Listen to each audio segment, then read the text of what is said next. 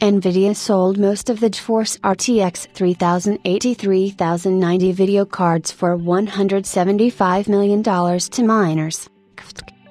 GeForce RTX 3000 series graphics cards began to appear on the market. There is no talk about stabilizing prices and overcoming the deficit, which means that for a fast game model you will have to pay much more money than we would like to. For a long time, experts pondered what could have led to this situation. Moreover, several plausible theories have already been put forward.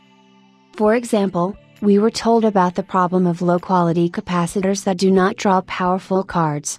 It was also reported about Samsung's inability to cope with the order that fell on the company, which led to a shortage of graphics chips. In addition, some analysts suggested that the miners variable should not be excluded from the equation. Well, apparently, it is these guys who are guilty of the disappearance of the GeForce RTX 3000 series from the stores, or rather, the fact that the card simply did not get there. This data was provided by financial analysts from RBC Capital Markets and Barron's.